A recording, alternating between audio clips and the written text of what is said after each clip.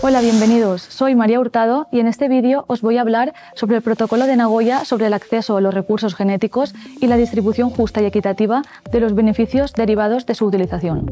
El protocolo de Nagoya fue adoptado en 2010 como un complemento al Convenio sobre la Biodiversidad Biológica de 1992 surge en un contexto de creciente preocupación por la pérdida de biodiversidad y la explotación no regulada de los recursos genéticos. Principales objetivos son promover la conservación de la biodiversidad, garantizar el acceso justo y equitativo a los recursos genéticos y asegurar una distribución justa de los beneficios derivados de su utilización. El protocolo de Nagoya establece varias disposiciones clave para lograr sus objetivos. En primer lugar, el requisito de consentimiento previo fundamentado. En segundo lugar, los acuerdos mutuamente acordados. Y en tercer lugar, el reparto justo y equitativo de beneficios. En cuarto lugar, el fortalecimiento de capacidades. Antes de acceder a los recursos genéticos de un país, se requiere obtener el consentimiento previo de las autoridades competentes del país proveedor, basado en información completa sobre la utilización prevista y sus posibles impactos.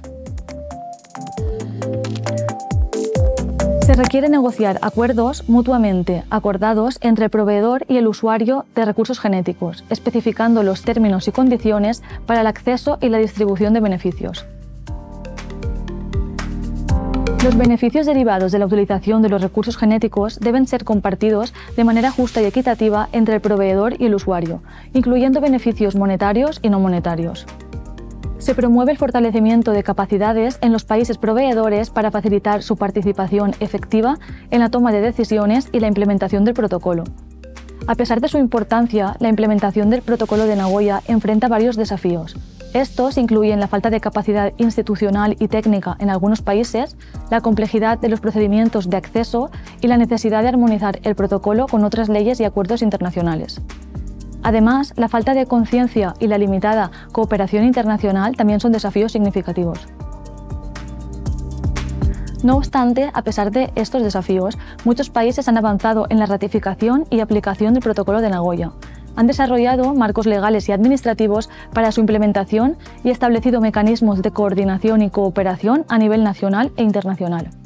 Además, se han identificado y compartido mejores prácticas para facilitar la implementación efectiva del protocolo. En conclusión, el Protocolo de Nagoya es un instrumento fundamental para promover la conservación de la biodiversidad y garantizar el uso sostenible de los recursos genéticos. A medida que continúa su implementación, es crucial abordar los desafíos existentes y fortalecer la cooperación internacional. Solo mediante esfuerzos conjuntos y el compromiso global podemos asegurar que los beneficios de la biodiversidad se compartan de manera justa y equitativa en beneficio de todos. Eso es todo lo que les tenía que decir. Muchas gracias por su atención.